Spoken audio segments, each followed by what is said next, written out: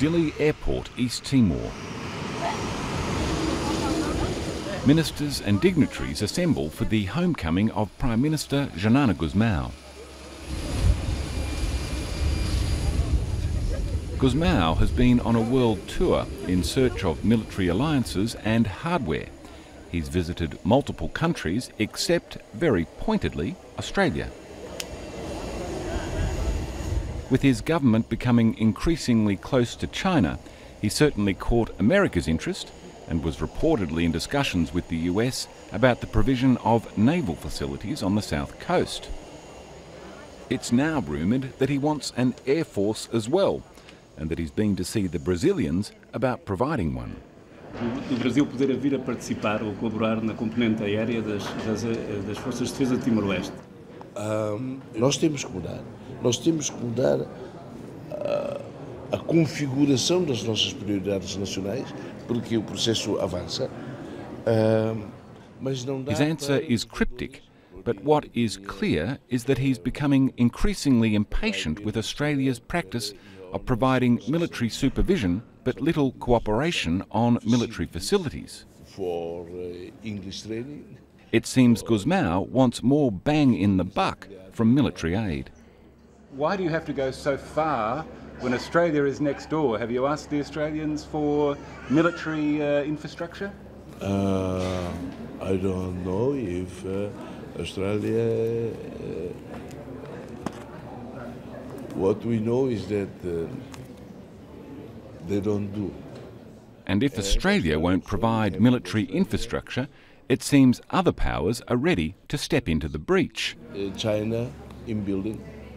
With China at the front of the queue. Any drive through East Timor reveals the growing largesse and influence of China. Chinese business is building the power system for East Timor, a huge contract which they won at tender, and good luck to them.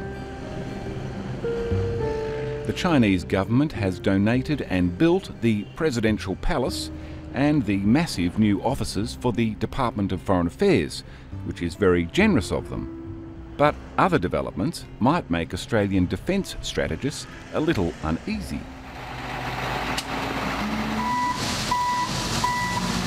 The Chinese are building, gratis, a military barracks on the outskirts of town for the East Timorese army. They're training Timorese officers in China, selling Chinese naval vessels and weaponry, and donating this new military headquarters in downtown Dili. An impressive sight for President Ramos Horta, who has a fairly impressive building of his own. I'm going to uh, exchange the building, my building, for this one. You prefer this one, do you? I, uh, I think this one is more imposing, so more fitting for the president. The headquarters are nearing completion, and Horta tours the facility with Chinese ambassador Fu Yu Chung. Total cost is uh, 10 million, 10 million US dollars. Undoubtedly, Australia would welcome all aid to Timor, but the donation of military assets and the supply of naval vessels and training may be another matter altogether. you would have been aware there'd be some sensitivities about uh, about that. It's quite of a different nature. Um, what was Australia's uh, reaction, as far as you could uh, tell, to uh, to that? Well, first, let me say the two major patrol boats cost about 30,000 mil, 30 million dollars. We paid for it cash, plus the, and the contract included training of our officers in uh, in China. Well, when you have the Australian Academy, military academy in Canberra, uh, offering uh, two places a year for, on the academy, uh, when the Chinese take 30 in one go to train in our uh, to, for- to, uh, to uh, manage our two patrol boats. Uh, so, well, we have uh, to uh, look after our, our interests. Chinese ambassador Fu Yu Chung. 呃，我们这个对同东方的这个在各个领域的这个友好合作关系都在都在发展。军事呃交往方面有一些呃有一些交往，主要是呃人员培训，现在有有有几名的这个呃军事学员去中国这个学习。At the government offices that same day, another deal is being signed with the Chinese. And thank you for your continuous support to this 100 building project. Defence Secretary Julio Pinto signs off on a free security wall and earthworks around a military compound down the coast.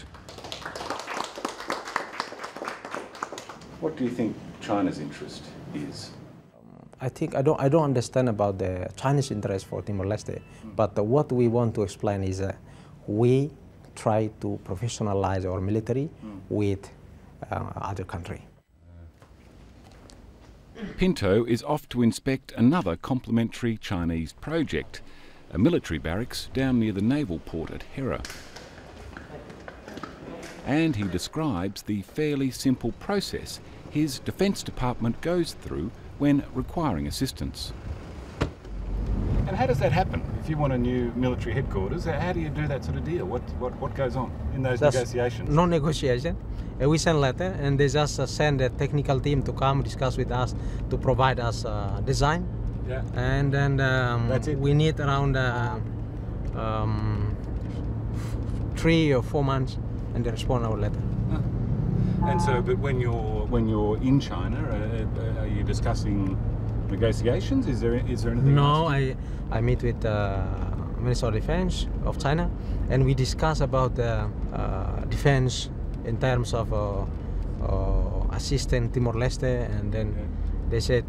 Uh, uh, if you need something, you provide, you ask to, to China to help. We're ready to help us, huh. help you. So this side still under construction. Clearly, the Chinese are courting the East Timorese military, but it seems the mood is relaxed in Canberra and at the Australian Embassy in Dili. Of course, I think it's only natural that uh, Timor Leste develops um, a good and substantive relationship uh, with China. Do you welcome? Uh... Miles Armitage is the new ambassador to East Timor and has largely inherited a landscape and seascape increasingly dominated by the Chinese. Nation building aside, on pure military issues, clearly the Timorese are looking elsewhere than Australia. Now, has Australia done well enough in ensuring that we're making the good enough offers or exerting our, our uh, financial muscle, or are we comfortable with East Timor seeking other partners? We are comfortable with uh, East Timor seeking other partners. Should we be? Yes, we should be. At the small naval base at Hera, east of Dili, Australian trained special forces go through their paces. But since independence, it's been clear that the Timorese wanted more than rubber duckies for their navy to get around in both Australia and New Zealand, as well as the United States and UK, uh, ganging up together, didn't agree with Timor-Leste developing maritime security. Well, who, who, did they think would look after your security? Exactly. Whatever Australia's wishes may have been, Timor now has its patrol boats.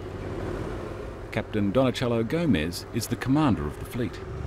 This is proud for, for me, for the country, and for all of the Timorese that um, see Timor-Leste rise as an independent country, as a sovereign country with their flag under Timor-Leste jurisdiction. The Shanghai-class vessels were delivered last July. 36 Timorese personnel have been undertaking naval training in China and a Chinese team sent to supervise on board in East Timor no more foreign uh, trainers on board. Now we operate the two patrol boat by ourselves. Five Chinese advisors are still based at the dock, but are soon to leave. I don't think it's up to uh, Australia to express a view on uh, the commercial decision made by a sovereign country. A commercial decision with pointy ends on it, as Second Officer Raul Correa explains.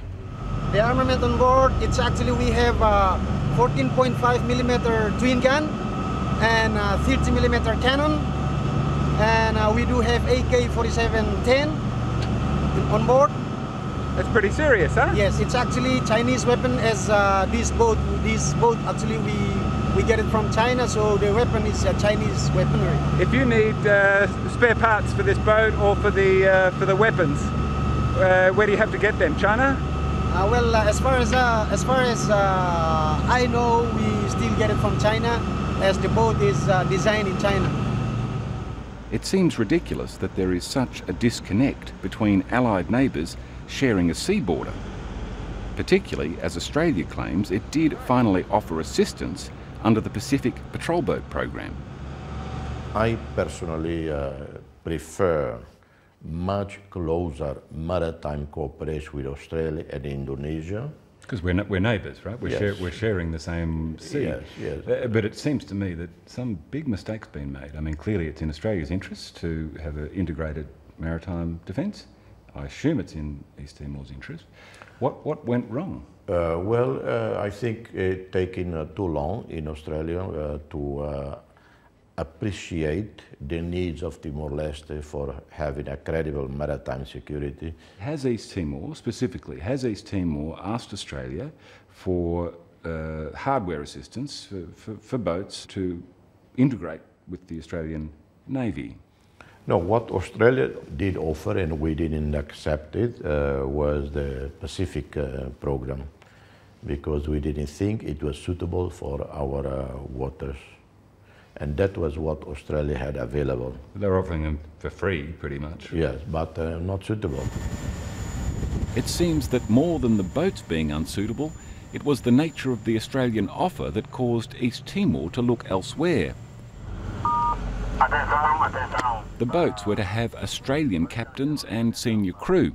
Communications were to be directed through Australia, and the vessels were to be unarmed. Isn't it in our interests? Isn't this one place where we can serve East Timorese interests and Australian interests to ensure that, in fact, it is Australian and East Timorese in that uh, in that region? Or is that too? Uh... well, I'm I'm trying to suggest to you, Mark, that we actually have a greater level of involvement uh, and cooperation, uh, including with the naval component, than uh, you're acknowledging. And part of that is working with other foreign partners, China, Portugal, the US, and Japan. Australia has recently sent two permanent maritime advisors to presumably complement the Chinese ones, and other offers are being discussed. Did you get Australia's attention by buying those uh, Chinese boats, though? Did they sit up and uh, pay a bit more attention uh, after this? Well, it looks like, uh, at least by coincidence, only when we purchased the Australian, uh, the Chinese boats, uh, that we have seen more offers of support for our maritime uh, capabilities from Australia, from the US, and now we have a military, uh, better military cooperation with all of these countries. It may be a further coincidence that US and Australian forces, or the ISF as they're known here, are planning naval exercises in the seas around East Timor next month. It seems this little navy may be creating a lot of interest from some big nations, hopefully with Australia amongst them. Uh, well, according to the plan, we're going to have uh, joint training between the U.S. Marine, Timor-Leste Marine, and uh, ISF.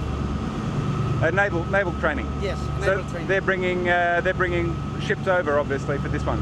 Well, according to the program, uh, the, the U.S. Marine it is, but the ISF they are uh, infantry, so we are going to conduct the okay. close quarter battle training. Okay, no, no Chinese Navy. No Chinese Navy. Oh, why not?